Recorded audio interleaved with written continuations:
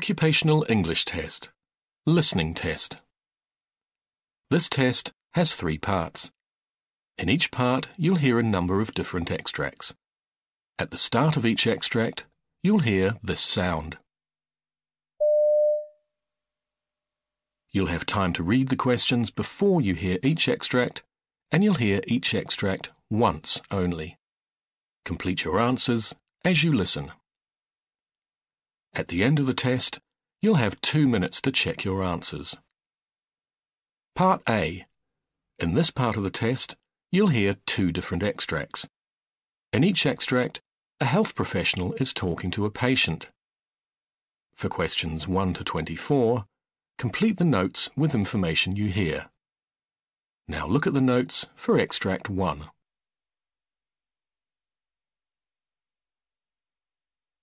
Extract 1.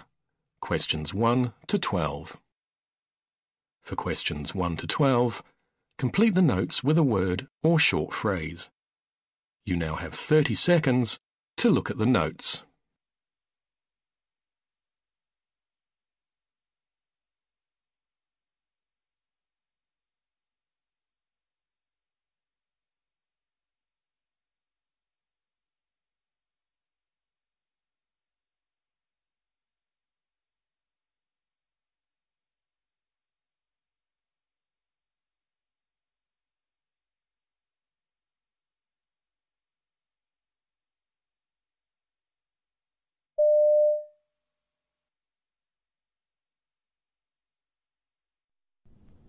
Good morning, Mr. Bloomfield. My name's Dr. Dixon. I'm a locum GP standing in for Dr. Wright. What can we do for you? I've been having some problems with my breathing. Can you tell me a little bit more about this? Well, I keep getting breathlessness and wheezing in my chest.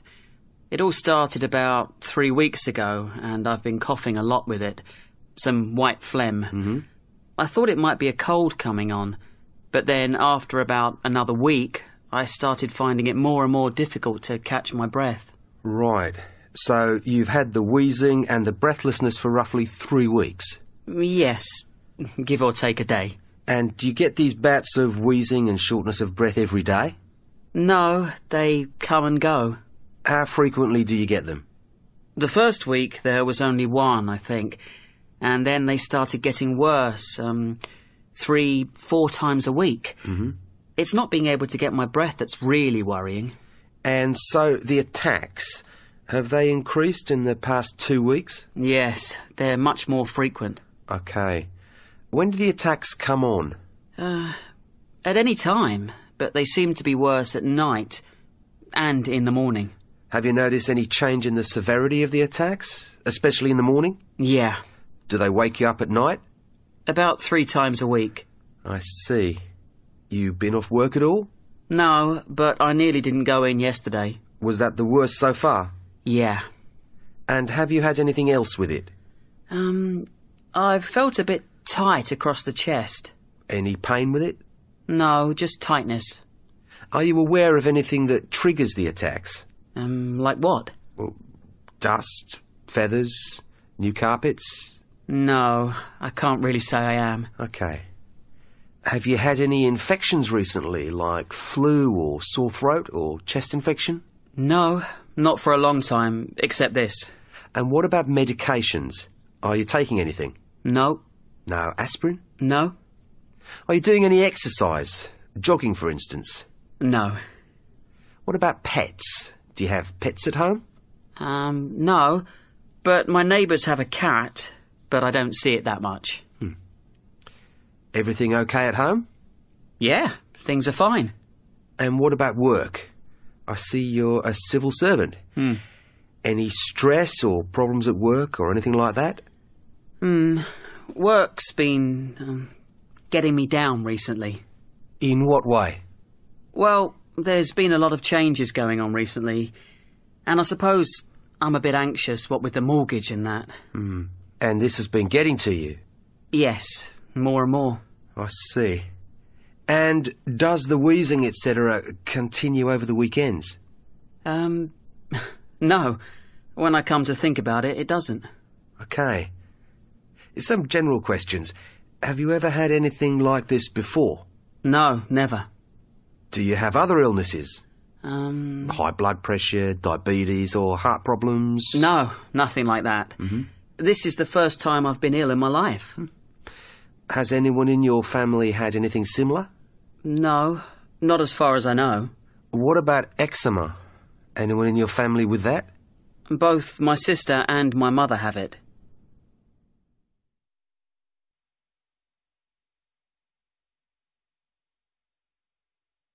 Extract 2. Questions 13 to 24. For questions 13 to 24, complete the notes with a word or short phrase. You now have 30 seconds to look at the notes.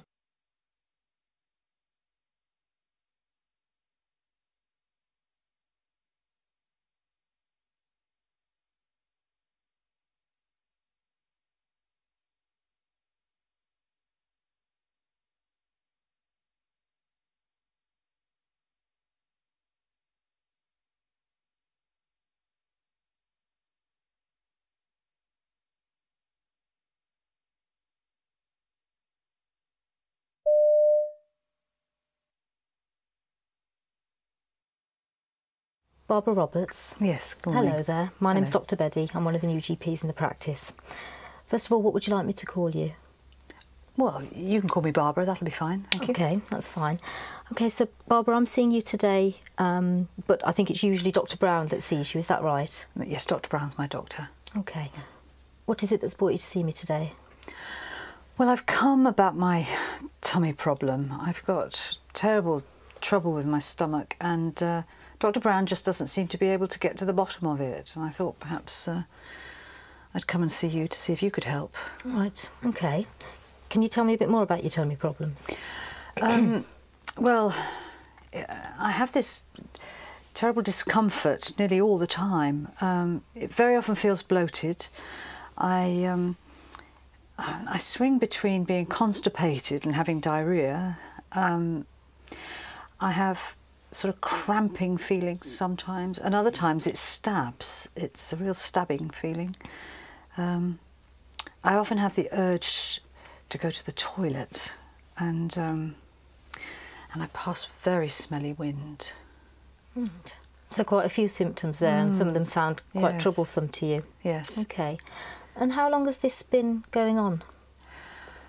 Well, I- I've traced it back to a holiday I had in Egypt about four years ago. I had um, a horrible bout of sickness and diarrhea, and And what's what sort of treatments have you tried for, for this before? well, Dr. Brown gave me some muscle relaxants at the beginning.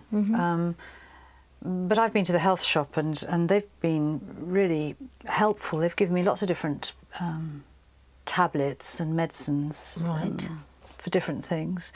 Um, no, oh, and Imodium.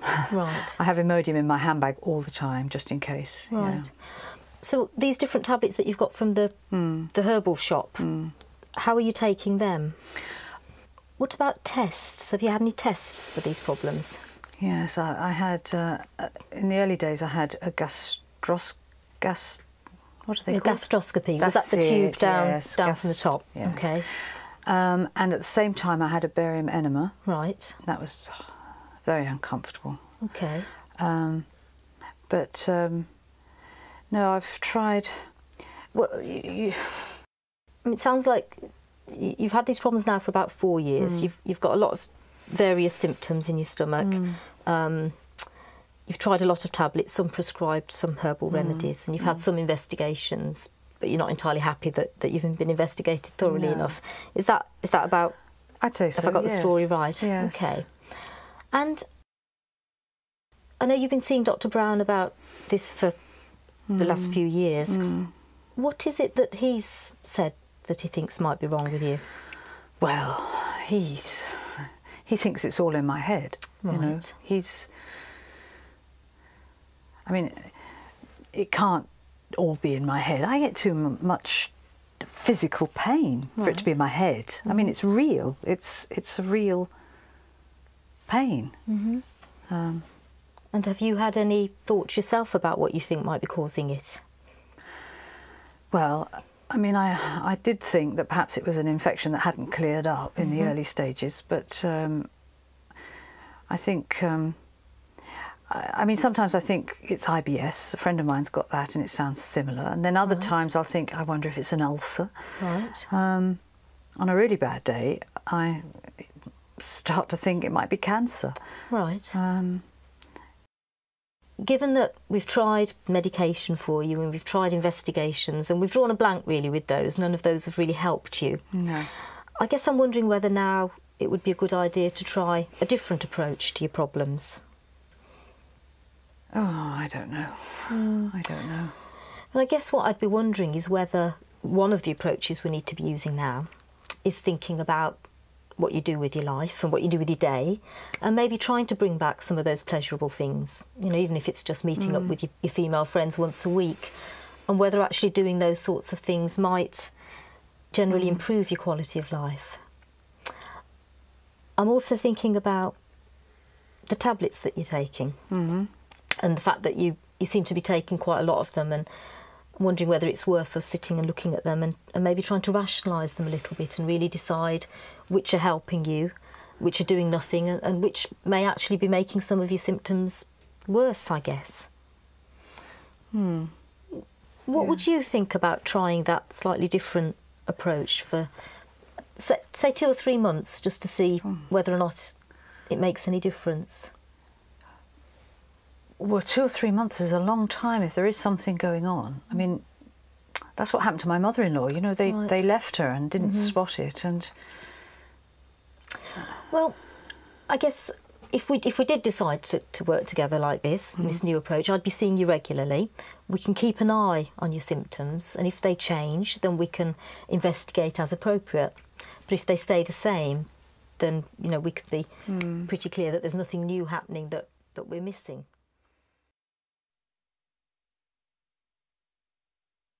That is the end of Part A. Now look at Part B.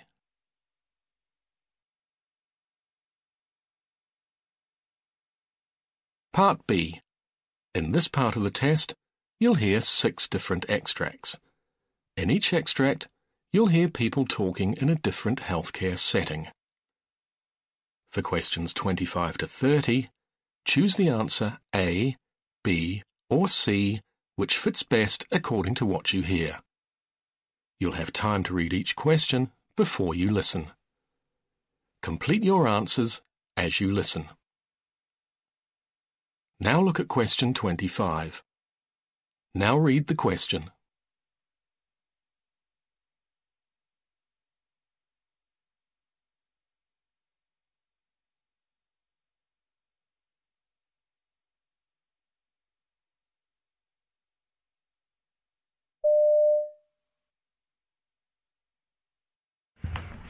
Okay, afternoon, guys. Um, um, I'm sorry, it's been a bit of a short notice. We've been having um, a few incidents of um, IV Jelco infections. I know it's been a busy week and uh, um, we've been in trouble with a lot of things, um, transition through to the electronic records from paper. Uh, but we need to know that uh, documentation is our responsibility. Uh, we need to make sure that um, Jelcos, you know, once you insert them, you need to document it. We need to check on the patient. We need to work as a team. Um, the handover should be precise, and uh, we need to check all these factors.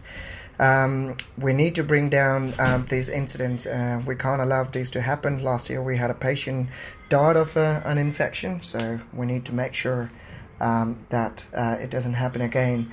Um, so that's why I called you guys up. Um, let's Start our day by not killing a patient. How about that?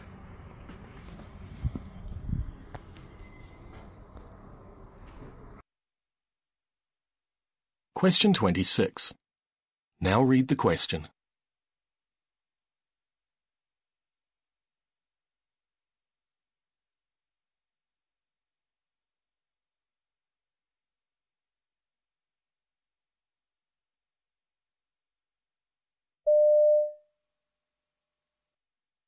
During your stay, we will work to keep you as comfortable as possible.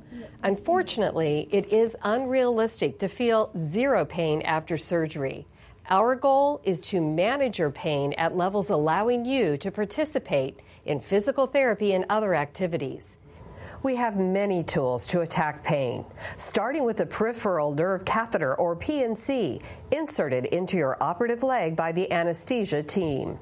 The PNC delivers numbing medication to surround the nerve that supplies feeling to your hip or knee. We supplement the PNC with other medications as needed, either in pill or IV form. One big help in controlling your pain is to keep your new joint active by moving and working with therapy. Lying in bed too long can result in more pain as the joint grows stiff. In addition to pain medication, you will receive a 10 day supply of Lovenox.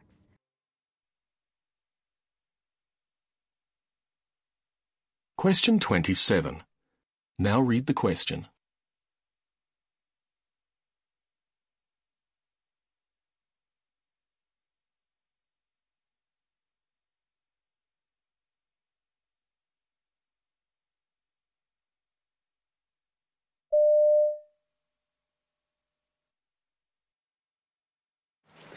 Mr. Fernandez is a 52 year old gentleman who was admitted to the ER last night. He lives with his wife Judy and was found down at home. They also noted he had lower extremity swelling for five days and was experiencing some shortness of breath and weakness. When they arrived to the emergency room, he was found to be in atrial fibrillation with a rapid ventricular rate between the 150s and 160s. After two boluses of diltiazem, he was started on a drip. Uh, he has two peripheral IVs, an 18 gauge in his left hand and an 18 gauge in his left both were started in the emergency room. Mr. Fernandez is a high fall risk because he fell at home. His bed alarm is on at all times and his call bell's in within reach.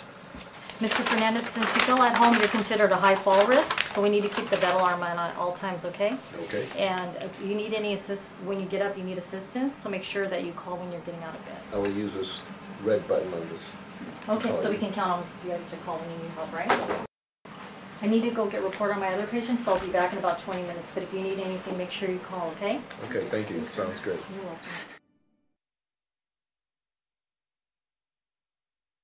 Question 28. Now read the question.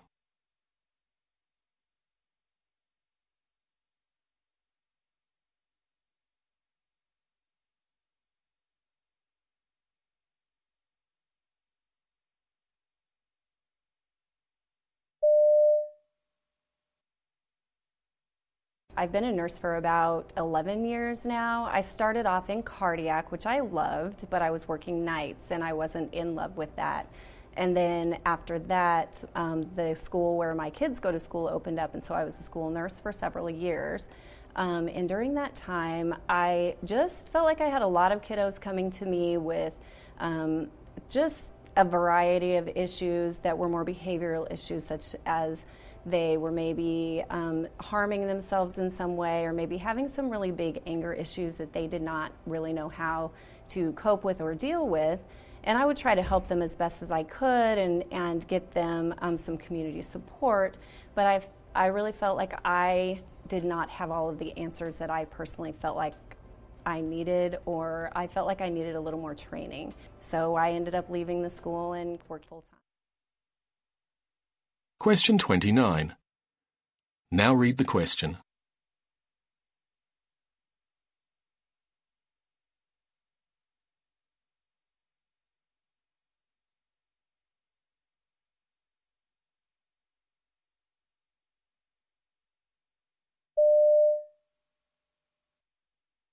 It is true that athletes are specializing at a younger age than they did a decade or two decades ago. And that does create overuse problems with doing the same repetitive motions year round, which is why we typically recommend for kids hey, enjoy everything, be involved in everything, do a lot of different things. There will always be sports that one athlete will excel more at than another, but it's still healthy to be a multi sport athlete and, and use different body parts and different mechanisms. And when you're growing and developing, that has a different impact on your body where you have open growth plates versus when you get older and those growth plates close. And if you're doing the same repetitive activity in a specific area with an open growth plate, you can have a problem there.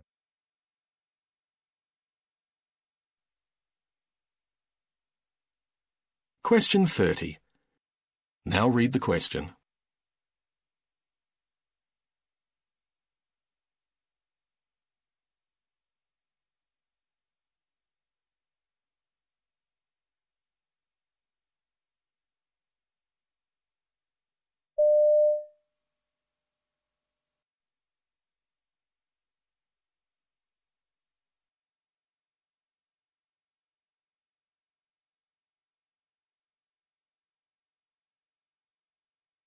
This is one of our mannequins, the SimMan Essential. He is capable of being a healthy patient. We can also program in variables on him that cause him to be unhealthy patient as well because as we know most of our patient population these days aren't your typical healthy patient. So when we bring the students into the room for the simulation, they are able to do an assessment of listening to heart and lungs on our mannequin. They can do a neurological evaluation of his eyes as well shortly thereafter, then we go ahead and start the anesthetic procedure. So we start by giving him some oxygen by the mask. Obviously, he's still awake at this point in time. And then the students are expected to start the drug um, administration. And I am on a computer in a different room able to program the drugs that the students are giving. And then the mannequin responds to the drugs by either you know, going to sleep or getting sleepy um, so that the students then can carry on the procedure that's been outlined for them. What's neat about these mannequins, we can mass ventilate them, we can put special airway devices in like an endotracheal tube. If they don't happen to get the endotracheal tube in the right spot, he has a blue light that'll light up in his mouth to show them the patient is not getting enough oxygen. I'm on the control and I can make the heart rate and the blood pressure change parameters as well. Um, so it, it's a learning experience for them so they can identify maybe they didn't put the endotracheal tube in the right place. He also has IV access, so we can do IV practice on him. We can give the drugs through the IV. That's typically how you do it in the anesthesia.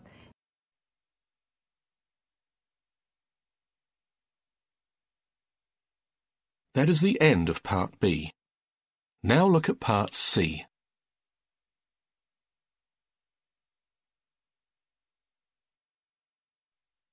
Part C. In this part of the test, you'll hear two different extracts. In each extract, you'll hear health professionals talking about aspects of their work. For questions 31 to 42, choose the answer A, B, or C which fits best according to what you hear. Complete your answers as you listen. Now look at Extract 1. Extract 1 questions 31 to 36. You now have 90 seconds to read questions 31 to 36.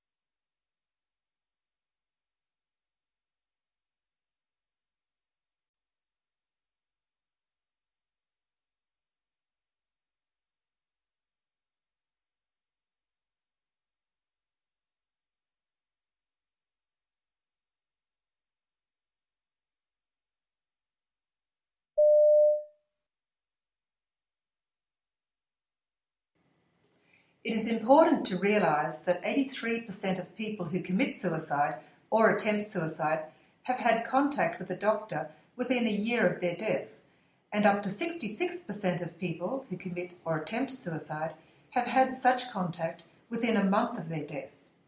Therefore, with better prevention techniques, these figures could be reduced. We can divide suicide prevention into three categories, which are primary, secondary, or tertiary. Secondary suicide prevention aims to decrease the likelihood of a suicide attempt in high risk patients. Tertiary suicide prevention occurs in response to completed suicides and attempts to, to diminish suicide in a particular geographical area or in a particular age group. I would now like to look at secondary suicide prevention in more detail. Secondary suicide prevention is particularly important, but not always given the attention that it deserves, in part because research into secondary prevention is only just starting to be applied to clinical practice. Now, from a clinical perspective, suicide is often difficult to predict due to its complex nature. The three major risk factors that contribute to suicidal behaviour are biological, psychological, and proximal stresses, which are recent events that can lead to increased suicide risk. Firstly, there are biological risk factors for suicide, which include low blood cholesterol levels, medical or neurological illnesses such as multiple sclerosis, stroke, Huntington disease, and epilepsy, cigarette smoking. Secondly, there are psychological risk factors which include a childhood history of physical or sexual abuse, aggressive personality traits, low self esteem, and poor access to psychiatric treatment. Thirdly, there are proximal stresses or the recent events that can lead to increased suicide risk, and these include relationship problems with a spouse, partner, or loved one, financial troubles caused by unemployment or large amounts of debt, a family history of suicide, major depression, and drug abuse. The clinical evaluation of the medical and psychiatric history of a patient and of their current state is the crucial and essential element of the suicide assessment process. It is important because it enables the identification of risk factors in order to determine the patient's immediate safety and the best setting for treatment, and also to develop diagnosis and treatment strategies. Psychiatric illness is a major contributing factor to suicide risk, with mood disorders such as major depressive disorder and bipolar disorder being associated with about 60% of suicides. Indeed, psychiatric disorders are diagnosed in more than 90% of completed suicides and more than 80% of these psychiatric disorders are untreated. Thus, the recognition and treatment of individuals with psychiatric disorders, specifically mood disorders, are essential components of secondary suicide prevention. In addition, the subjective rating of the severity of depression is one of the most powerful predictors of future suicidal acts. Therefore, assessing and managing depression as well as being aware of the suicide risks in psychologically, medically, and neurologically disordered individuals is an important aspect of secondary suicide prevention. Consequently, physicians need to be taught to recognise the association between mental disorders and suicide. Additional information about the individual who may be at risk for suicide, such as medical and psychiatric treatment records, and toxicology screenings should also be incorporated into the assessment. Equally importantly, clinicians and other professionals in a position to offer help should not hesitate to ask patients about suicidal ideation because, while it may seem surprising, patients will often talk frankly about their suicidal thoughts and tendencies if given the opportunity. Failure to ask about suicidal ideation may be related to the health professional's discomfort with the topic, lack of time, or lack of skills in this area. Clinicians need to overcome these obstacles to provide appropriate care to their patients. What are the most effective secondary suicide prevention strategies? In a recent systematic review of suicide prevention strategies, Mann, along with other researchers, found evidence of effectiveness in five secondary suicide prevention methods, including pharmacological interventions, psychological interventions, follow up care, reduced access to lethal means, and responsible media reporting of suicide.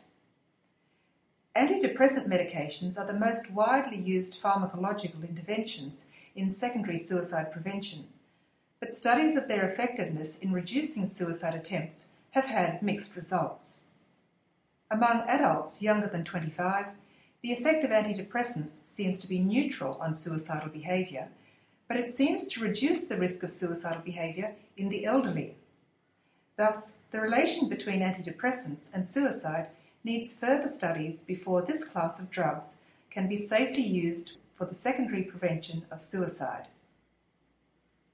In terms of psychological interventions, suicidal patients often benefit from therapies that address the repetition of suicidal thoughts and behaviours and other factors commonly associated with suicide. Better psychological and pharmacological treatment of depression and alcoholism also appears to decrease suicide rates. Social factors that should be addressed in follow up treatment include availability and willingness of supports within the family. Support individuals who should be contacted about the suicide risk and follow up arrangements include general practitioners, private psychiatrists, family, and friends. Some interventions, however, such as telephone and psychosocial follow up, have shown no difference in suicidal ideation when compared with standard aftercare. Many studies show that suicides by particular methods, for example, firearms, domestic gas, or pesticides, decrease after the introduction of legal restrictions that reduce access to such means. This reduction in suicide rates is particularly influential in regions where the specific means of restriction correlates with a common method of suicide. For example, in the UK, the reduction of carbon monoxide in domestic gas since 1958 and the reduced availability of analgesics since the mid 1990s have both decreased UK suicide rates. Finally, many studies have exposed a need for a decrease in reporting of suicide and for responsible reporting. Media blackouts in reporting suicide have coincided with a decrease in suicide rates because reports of suicide in the media tend to glamorize suicide for vulnerable individuals. The internet is also of increasing concern, with blogs and chat rooms providing accessible instructions for suicide. For these reasons, guidelines have recently been produced for the responsible reporting of suicide. Despite our increasing knowledge about secondary suicide prevention, there are still many gaps in the research, and looking to the future, thorough evaluations and appropriate treatments of patients with depressive disorders and other psychiatric illnesses should help to improve the efficacy of secondary prevention of suicide. But it is also clear that more research into new approaches for the prevention and treatment of suicidal behaviour remains essential.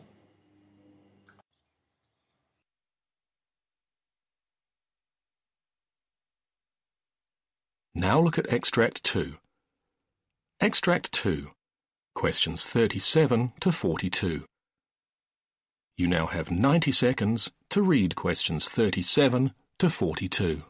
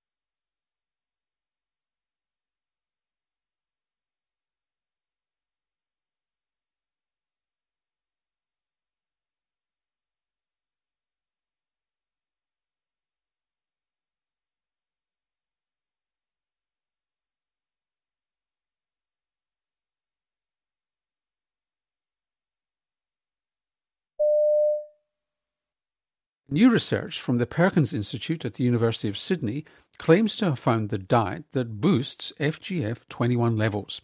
One of the lead scientists on the study was Samantha Solon-Biet of the Perkins. Welcome to the Health Report. Thank you for having me. So, what is this stuff, FGF21? I mean, it's almost eye crossingly complicated from the look of it. Yeah, it seems complicated, but it's actually not. And recently, there's actually been an immense amount of interest in fibroblast growth factor 21 or FGF21. And this hormone has actually recently been called this fountain of youth hormone, which we know can be influenced by diet.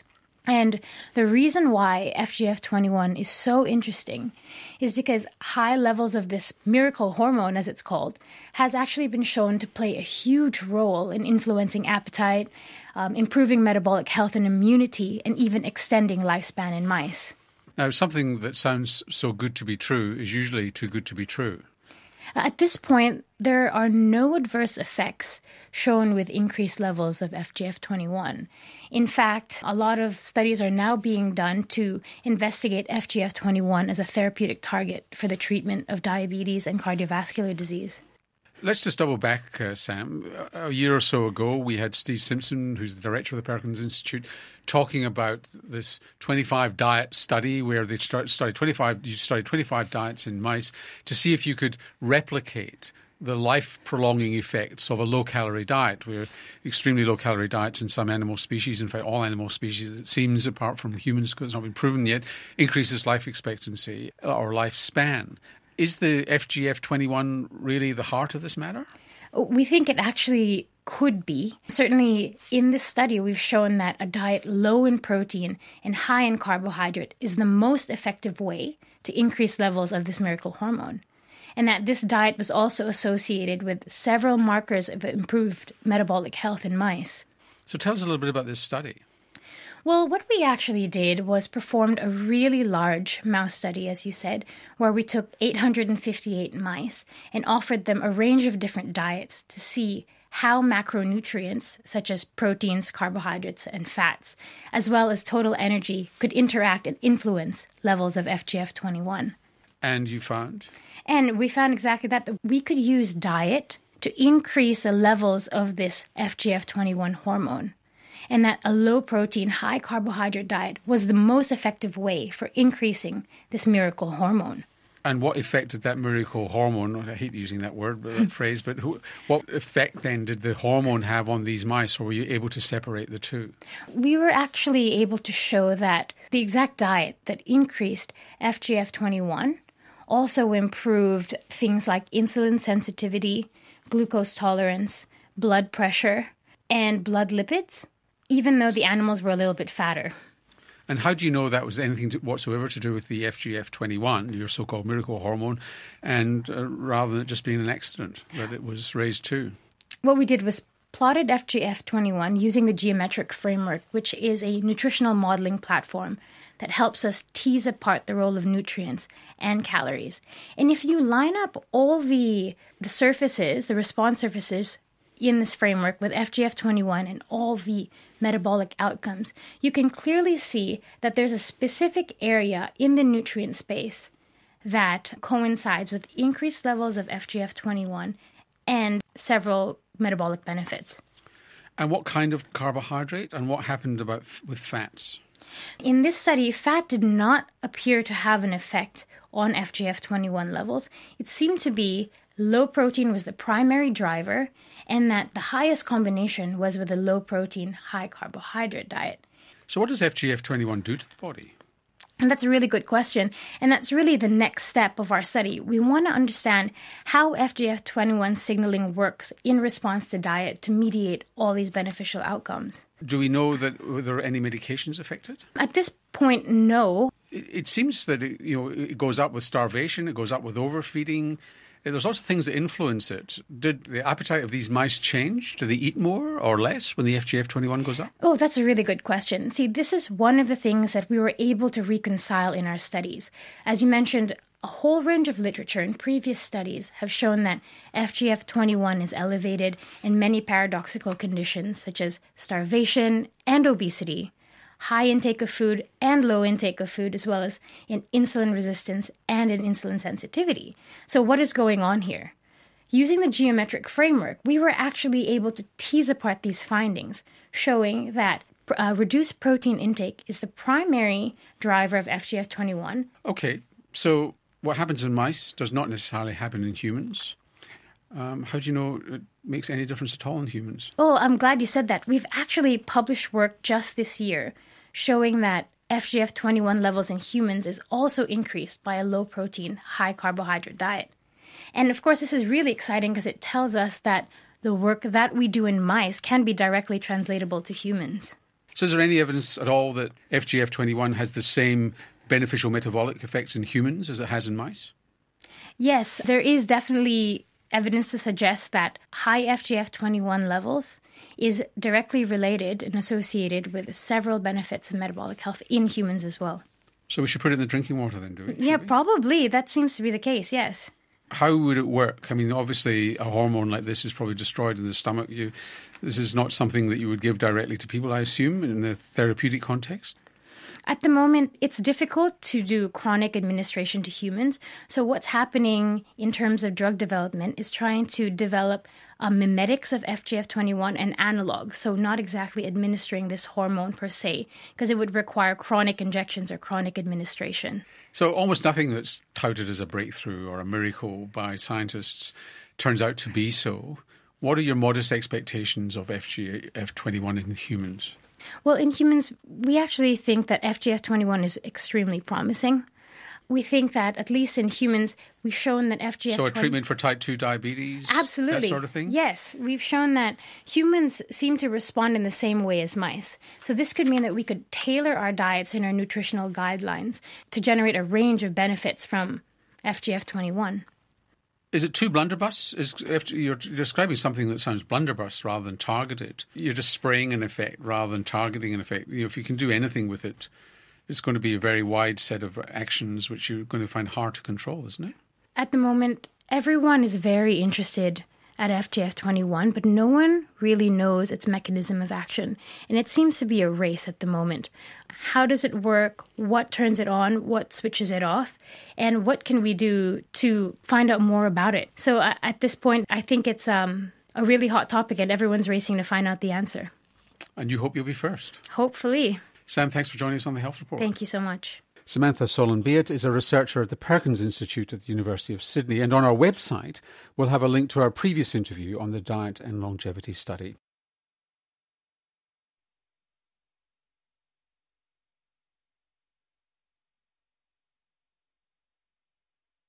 Now look at Extract 2. Extract 2, questions 37 to 42. You now have 90 seconds to read questions 37 to 42.